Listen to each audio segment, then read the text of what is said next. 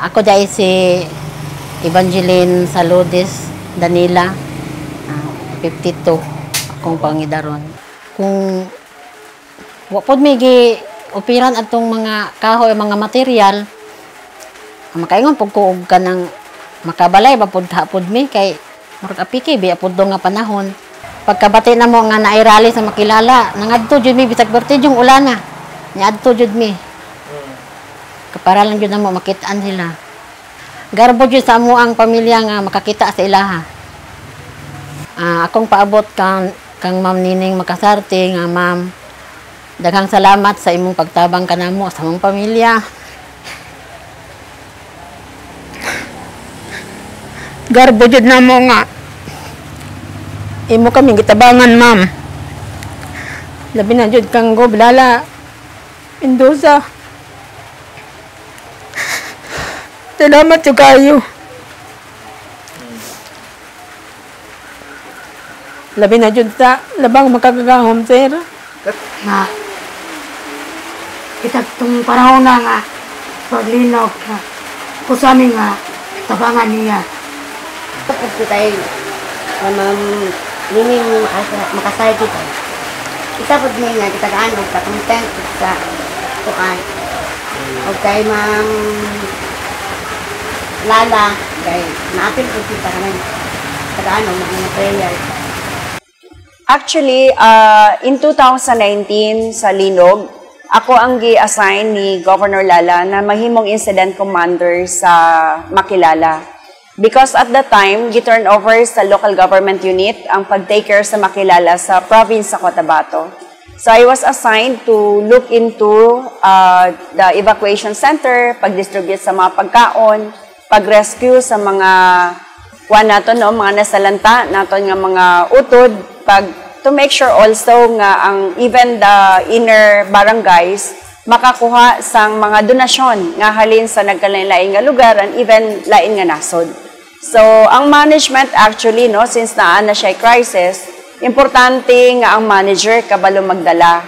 Ah, kung imo madumduman kung I, I think makita mo man na sa online no Ah, isa sa maginsaka naton ang barangay Kapatag ah, Sitio Kapatagan in Barangay Luwayon wherein five days na nga wala nakapanaog ang mga katawhan, wala makaon, wala mainom, ah, na putol na ang linya sa ilang adalan. So the only way para makuha naton sila dito, magsakay sa chopper.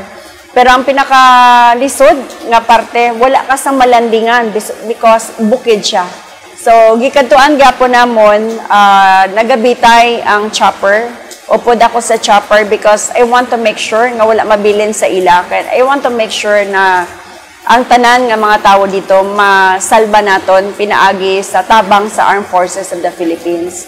So kaluoy sa Ginoo napababa naton sila nga buhi kag ah, may iban pa kita nga gintabangan no. Ah, in fact ang until now nagasakit akong dugan nga magbalik sa makilala nga may ara pa kita 681 ka pamilya nga nagapuyo gyapon sa ilalom sa tent no.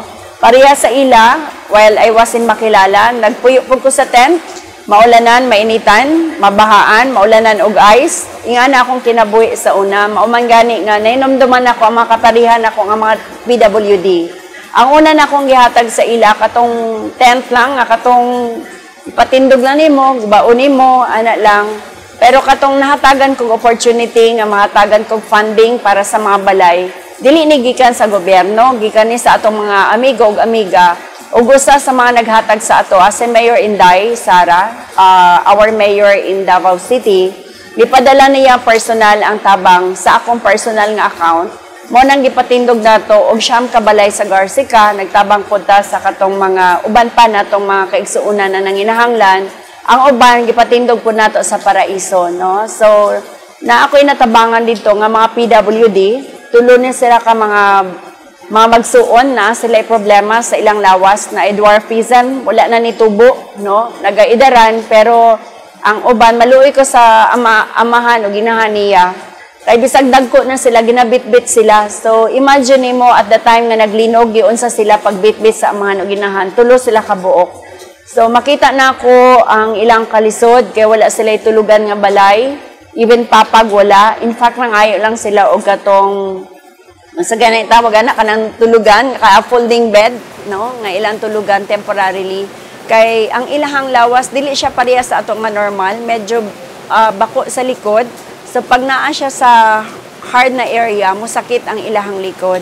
So ako silang ginasabot because naagian po na ako ang kalisod nga na at the time I was uh, after I was ambush naha-paralyze pod ko.